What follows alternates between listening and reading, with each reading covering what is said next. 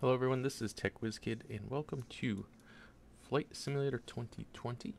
Today we're going to be doing a short hop flight from uh, the southern coast of Rhode Island, a city called Westerly, this is Westerly State Airport, into uh, Block Island, which is an island off of the southern coast of Rhode Island. It's a really quick flight, I think total time is about 5 to 8 minutes, something like that. Um, we're going to be doing this flight, taking off from Westerly into Block Island. Uh, this is um, something that happens, I think it's about every 30 minutes or so, and it's uh, with a plane very similar to the Cessna uh, C208B that I have here. Uh, that guy doesn't run me over. I wish our plane was facing the other way, and unfortunately this airport does not look like they have push-off services, so it gets a little bit weird. Um, so I may run into the guy when I want to turn around, but um, just keep that in mind. So what we're going to be doing is just a quick uh, pre-inspection uh, checklist. So before starting engine, we're going to set both of the uh, fuel tank selectors to on. Bada bing, bada boom. Igni engine ignition selectors. Uh, these oh, set my camera back to normal. Uh, we're going to set to norm.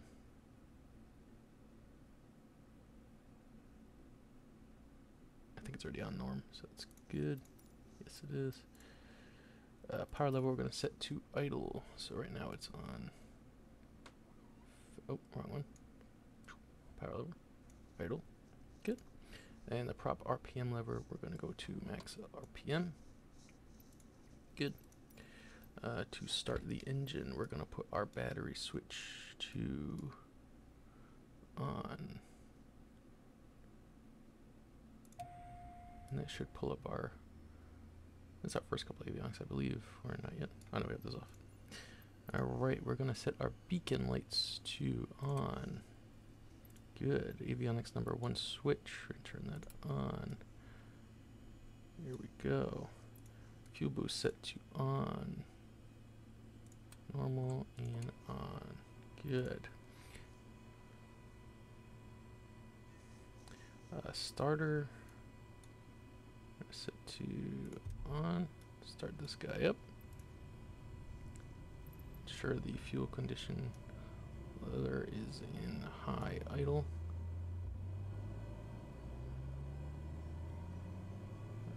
Low idle once it starts up here.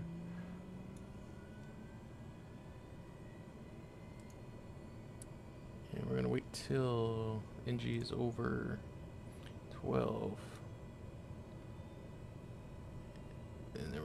To low idle.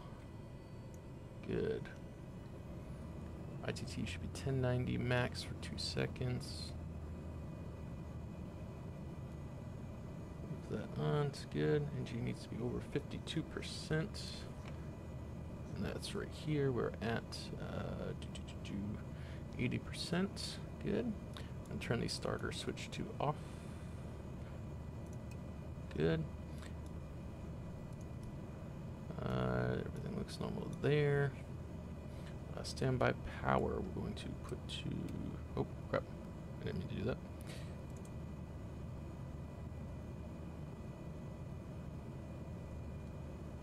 Don't need that. Standby power.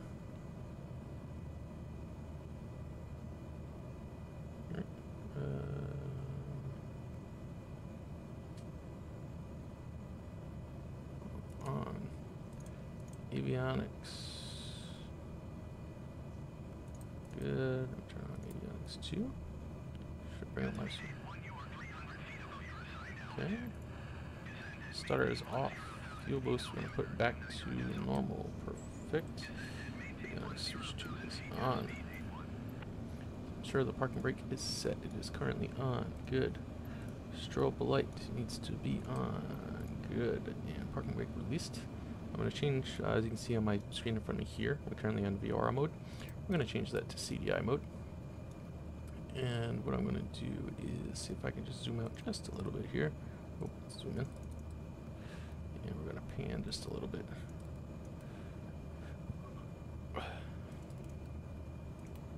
Okay, now we can pan it. But we have a, a short flight today. Like I said, it's just going to an island right to the southern coast of Rhode Island. And what we're doing is we set a waypoint out on the western uh, end. Wow, there's a lot of planes out. Um, of um,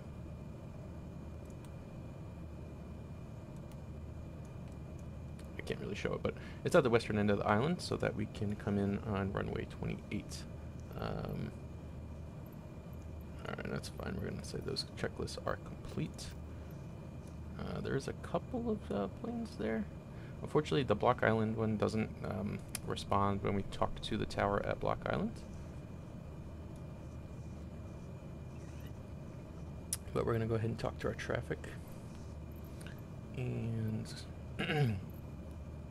we'd like to announce a taxi. Kilo Whiskey Sierra Tango traffic Cessna Alpha Sierra X-Ray Golf Sierra is taxiing to runway 14. should get our arrows somewhere. if We don't already. Yeah, see, I don't know why. Sometimes it doesn't like that. And we're gonna say runway 14.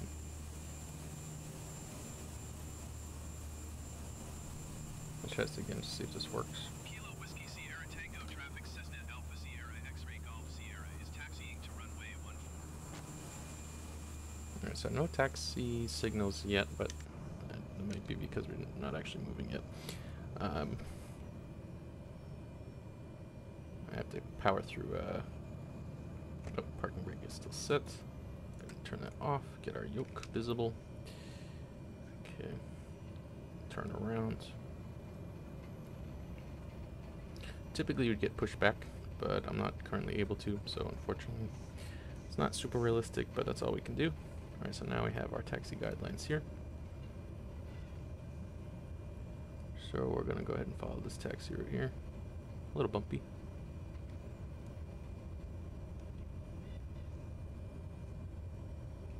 And this plane really does not turn very well. It's a super wide radius for a turn here. So we're gonna go ahead and come down. I've also noticed that in some of these smaller airports, the traffic just simply doesn't care that you exist. So it's just gonna keep going by. And I think that's just because it's not a, it's doing it from the air, so typically it wouldn't matter, but unfortunately it makes it slightly annoying to navigate here. Uh, and then also typically we would be checking with tower that we're clear to cross this runway, but it looks all clear, so we're gonna go ahead and do that. Our runway is way down at the other end. I don't know why uh, our taxi guidelines just disappeared. That's fine. I'm just gonna tell them we're going to runway 14 again. Whiskey Sierra Tango traffic No. Alpha Sierra X-Ray Golf Sierra is taxiing to runway 25. I'm not. I'm taxiing to runway 14. 14. And then there we go. Kilo Whiskey Sierra There we go. Tango traffic Cessna Alpha Sierra A little glitchy. Golf Sierra is taxiing to runway 14. Okay. Slow down a bit just because this turn's a little tough.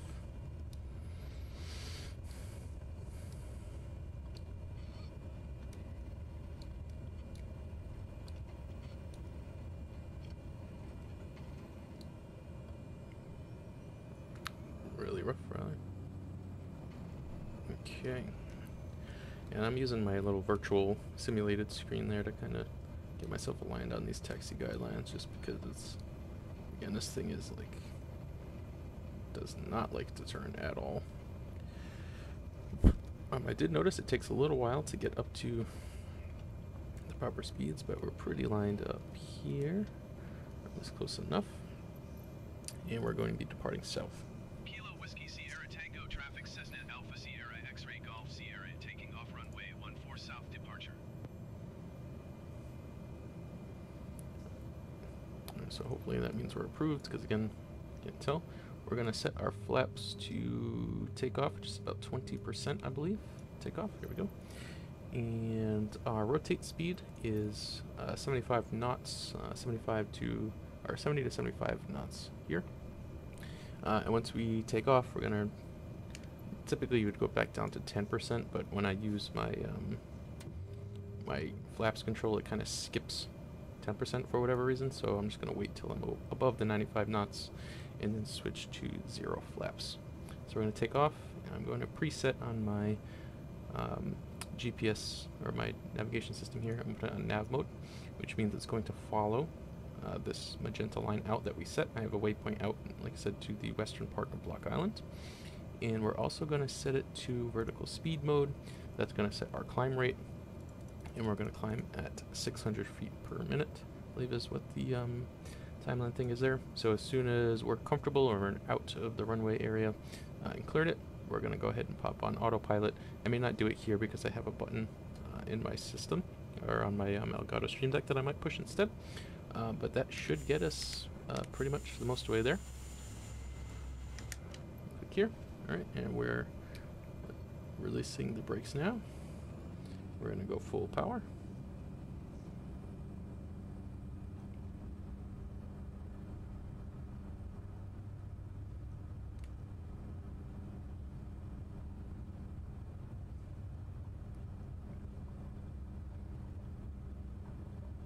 Like I said it's between 70 and 75 knots for the rotate, so we can rotate now.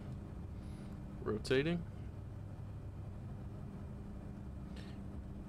This is a comfortable climb rate. As soon as I hit over approximately 90 knots, I'm going to retract my flaps here. It's a little bit weird because I had to take my hand off the uh, stick here. Just turn us slightly to the right for our climb. And then this is where I'm going to sit. Uh, keep us kind of going on the setting here. We're going to set the autopilot to on. And we're going to drop down our power here to get us in the proper RPMs. Like I said, we set a vertical climb rate of 600 feet per minute. Uh, looks like my nav mode turned off. Uh, did not? Yeah, I actually didn't select an altitude, so uh, do, do, do. Eight. We're gonna go to 1500 feet, and then we're gonna increase our vertical speed altitude mode is on. We're going to turn on vertical speed mode, and we're going to go to 600 feet per minute. Like I said, it's going to take us out to a runway out on the western tip of Block Island. And we're going to go to find our list here, Block Island State. And we're going to be landing runway 28.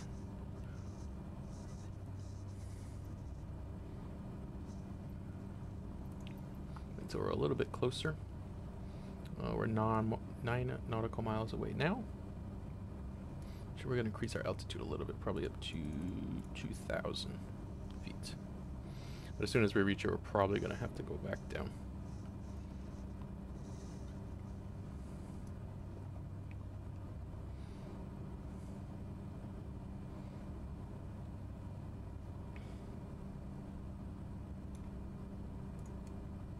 Don't need that.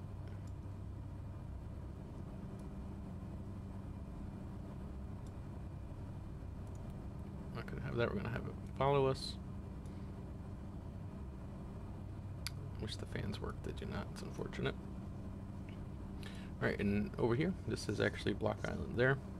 Uh, the runway is somewhere over here, and what we're gonna do is we're gonna come in on a waypoint around here, and bring in the left-hand pattern uh, to land on the runway the landing speed of this craft is about 85, 75 to 85 knots. I found that the um, the landing pattern help system built into Flight Simulator it kind of puts things a little bit too slow. So it's just going to say I'm going too fast, but um, it's actually fine. I'm just going to be slowing down a little bit now. Actually, give us some more here. Uh, looks like because we reached our altitude. No, it's still on. That's interesting.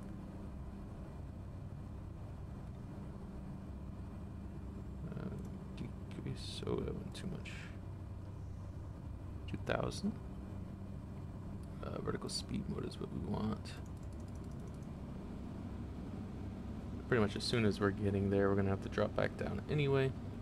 You can see I have a waypoint set to right here. And this is where I'm going to go ahead and contact tower.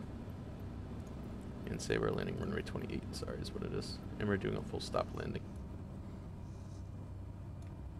And going to announce our position. Kilo Bravo India Delta traffic Cessna Alpha Sierra X-ray Golf Sierra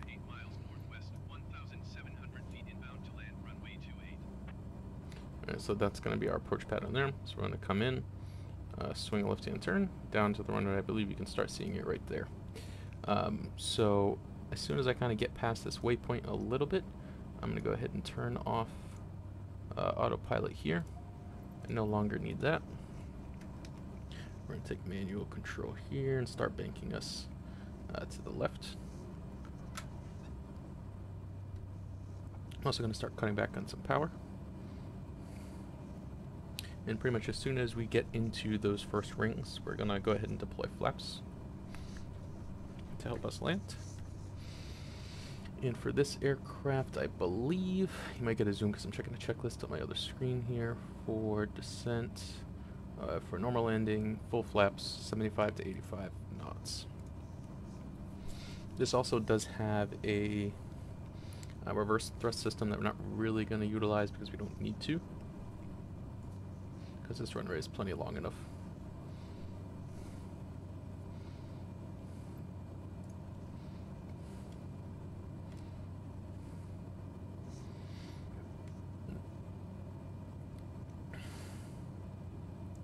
And there's Block Island there.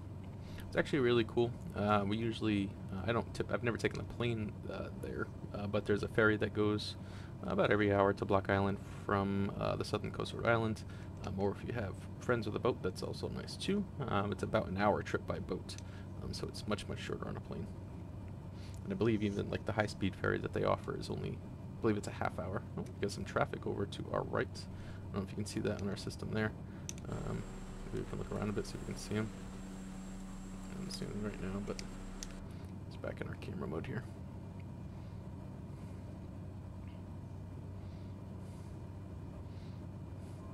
Like I said, as soon as I get into uh, these rings here, I'm going to deploy our first uh, layer of flaps.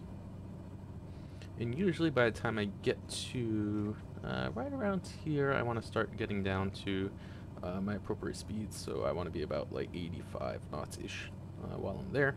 Again, these red rings are going to say that I'm going too fast, but I've done this approach quite a few times now, and um, uh, this uh, plane is able to slow down really quickly after landing, and I don't have any issues stopping. So I'm just going to go ahead and not listen to these um, flight things here. I'm just kind of just getting used to this approach, so I can try to do it without these landing uh, indicators at another time.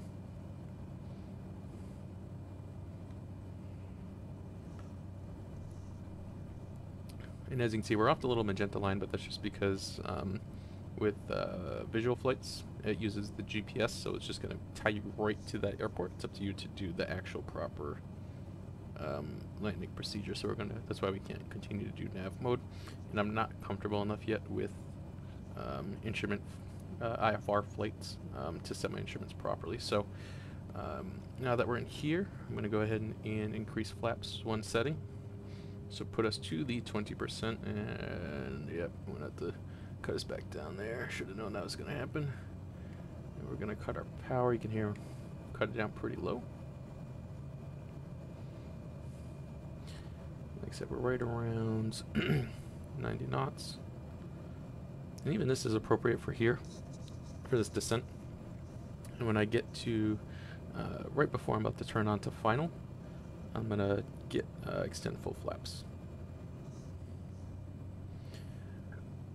Like I said, what I found is um, these things put you at your full landing speed of like 75 or 70, like way out here, which by the time you get down to the proper descent level, it's not. Um, it's much, much too fast.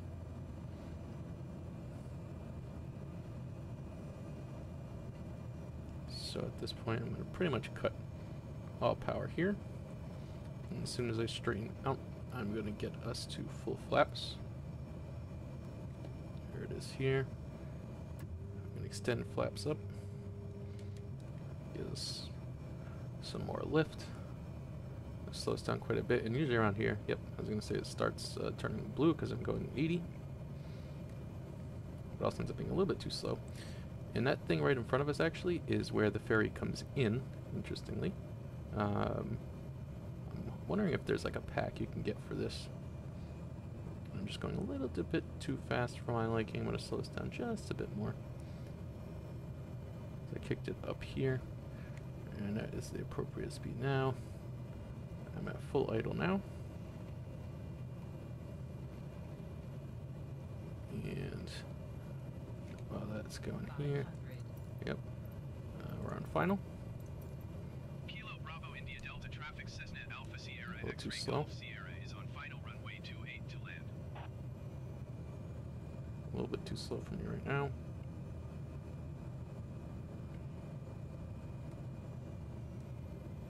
See what I mean when you follow those things? It seems to be a little bit too slow for me. Also noticed it was coming like at an angle like this.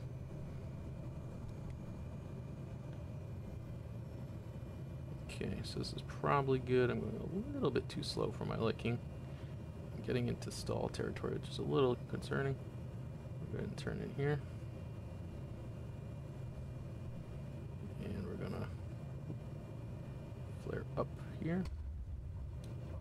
Alright, wasn't the most smooth landing, but we'll take it. A little bit too fast for that taxiway. Go to this next one here. 'Cause this is uh as soon as we're off the runway, we're going to announce we're clear of the runway.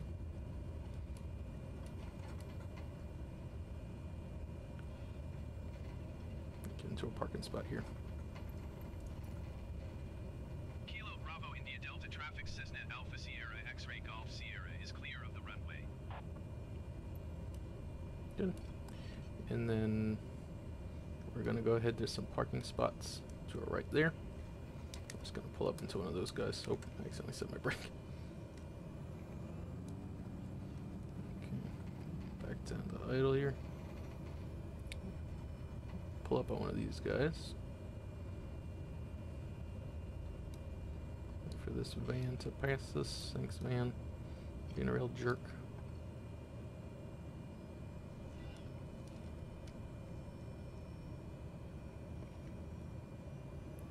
Well, we're gonna ignore that van.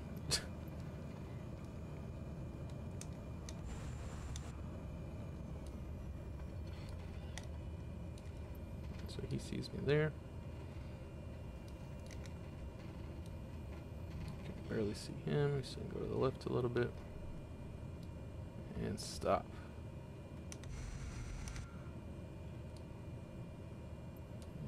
And good. So for some reason I noticed sometimes it doesn't uh, give you like the correct indicators. So let's see if I go forward a bit. Is it gonna pop up with them? Mm, no. Okay. That means that flight's not gonna end properly most likely, but that's fine. Um, so now that we're landed, we're gonna go ahead and put our flaps uh, back up, and we're going to uh, set our parking brake here. Perfect. And after landing, get rid of that.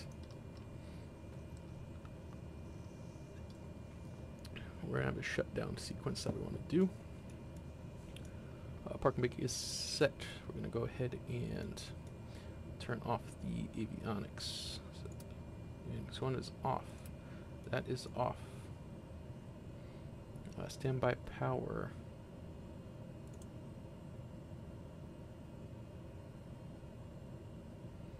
That's already off. Good. Uh, fuel boost. We're gonna set to off. Uh, bleed air, ventilation vents, and air conditioner. So our bleed air is here. Let that bleed. Uh, if this plane worked, we would be able to uh, bleed through here, uh, but we cannot. We cannot vent it, so that stinks. But it is what it is. Uh, we're going to vent. It's an up, but oh wait. There we go. Set that to ventilate. Perfect. Uh, we're going to turn our inverter off. Oh, oh, oh, oh, oh. I always do that. Which, where is the... Uh, I never found the inverter, actually, on this guy. Um, so I don't know where that is. Uh, power lever, we're going to set to idle. So, right now... There we go. Good. Propeller, we're going to set to feather. Good. Fuel condition lever, we're going to set to cut off. Fuel shut off. Just shut down our engines. And typically, if we had um, got the nice um, landing kind of boxes, which usually it does, um, that is when the game would kind of show a, a flight sequence completed thing, but it's not there. Uh, we're going to set oxygen to off. We cannot, it's inoperable. Um, all of our lights, strobes, beacon lights, we're going to turn those off. Controls, don't need to. Fuel tank selectors, going to set them both to off. Lock the fuel out. Um, we don't have any tie downs in chocks. Fuel filter is good. And uh, by this point, people would have uh, disembarking. I don't know if this is the appropriate spot I'm supposed to park. I mean, the guy kind of flagged me in, so I think that's fine. But um, that was just a short flight, like I said, from Westerly, Rhode Island to uh, Block Island. It's a, a, very quick flight. They typically run these uh, 30 minutes every day, um, or every 30 minutes they're doing another flight. Um, this game has been a lot of fun so far. Um, I have a Saitek Aviator 01. Um, that's the joystick that I'm using. It's not perfect as a twist rudder, but good luck trying to find a joystick and everything right now. it's something I bought years and years ago. Um, I'm hoping I can do some uh, some more of these videos. I'm having a lot of fun with this. I believe what I'm going to do is I'm primarily practicing right now taking off from Westerly into Block Island with that approach. Uh, I think I'm also going to do the reverse approach as well and try to come in from uh, go from Block Island to uh, Westerly and kind of do those flights. There's a, a, mod you can get called FS Economy that lets you uh, do these kind of charter flights and stuff to make money. Um, so that seems like might be pretty fun to do. But thank you guys for watching. I hope you enjoyed, and I'll see you next time.